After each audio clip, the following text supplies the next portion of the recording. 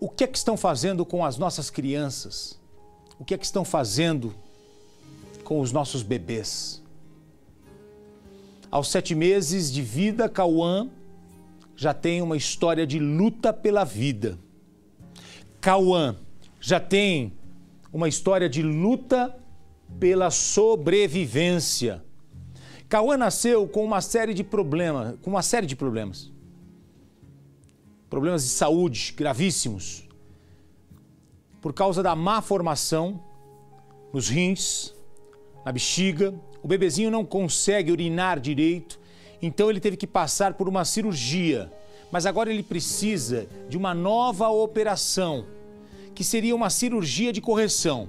O problema é que para os médicos fazerem o procedimento, Cauã precisa fazer um exame específico. E esse exame a mãe não consegue agendar. Olha, não é que ele não consegue fazer o exame, a mãe não consegue agendar. Não é, não é que ela não consegue agendar para daqui dois anos. Ela não consegue agendar. Ela, ela gostaria de agendar para 2019. Não, ela não está conseguindo agendar para nunca. Não consegue agendar. Olha o drama. Essa daí, essa mãe lamenta ter nascido no Brasil. Porque se ela tivesse nascido num outro país, talvez essa criança teria tido uma melhor sorte. Vamos assistir. Para a família, Cauã é um verdadeiro milagre. A médica não deu uma semana para ele morrer. Ela falou para mim, na minha cara, não deu uma semana.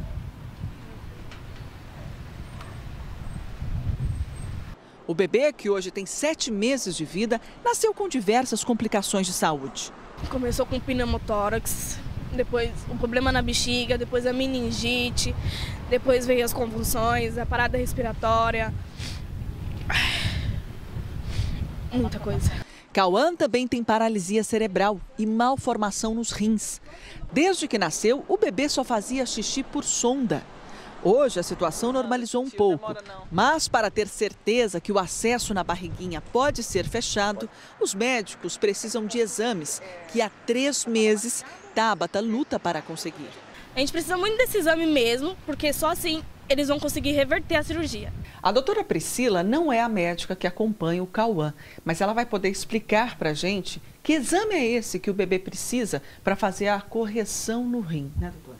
Então, ele precisa de um exame chamado cintilografia renal. É um exame de imagem que vai ajudar a identificar a anomalia que ele tem, que já sabe que ele tem, mas como que está. Então, assim, vai ajudar, ele precisa fazer esse exame para o nefrologista pediátrico dele poder tomar uma conduta. Sem esse exame, é impossível fazer a cirurgia.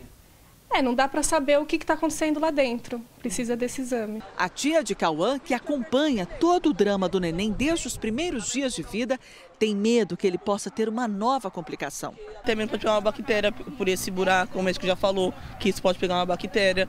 E isso vai afetar ele de novo. A gente não quer que afete ele de novo. A família, que já sofreu tanto, espera que algo seja feito rápido. Revolta.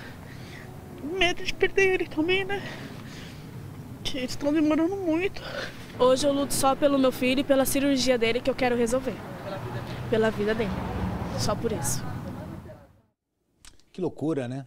Nós entramos em contato com o Estado, que diz que o agendamento do exame é de responsabilidade do município. Aí nós procuramos o município, a Secretaria Municipal de São Paulo, que informou que essa solicitação tem que ser encaminhada pelo Estado. Nós retornamos contato com o Estado, que esclareceu em nota que o Cauã, que o exame que o Cauã necessita é eletivo, ou seja, não é urgente, e que o conjunto hospitalar do Mandaqui adota critério de gravidade para o agendamento de exames. Assim que o mesmo for feito, a mãe de Cauã será avisada. Primeiro foi empurra-empurra, agora está dizendo que não é grave, ele tem que esperar. É, mas mesmo, olha, vou fazer o seguinte, faz de conta que não é grave. Não dá para agendar? Aí se chegar alguém mais, com mais gravidade, coloca na, passa na frente, e aí vai chegando a vez dele? Vocês estão brincando? Queria ver se fosse filho de vocês, filho de um bacana, aí se vocês não resolviam o problema rapidinho. É que não é filho de vocês, né? É filho de pobre. E aí vocês não dão a mínima. Essa é a realidade. Eu não tenho medo de falar, tá? Se não gostou, vem reclamar aqui comigo. Lombardi, olha que absurdo. Você percebe que você percebe que assim, um falou que era primeiro é do município. O município falou, não, não, do Estado. Aí o Estado foi verificar e falou, não, não, realmente é nosso, mas não... Agora, eu quero saber o seguinte, o médico que atestou, que diz que não é grave, ele, será que ele assina um papel dizendo, não é grave? Para amanhã, se acontecer qualquer coisa com a criança, quero saber quem assume a, a responsabilidade de dizer que não é grave. É. Quem?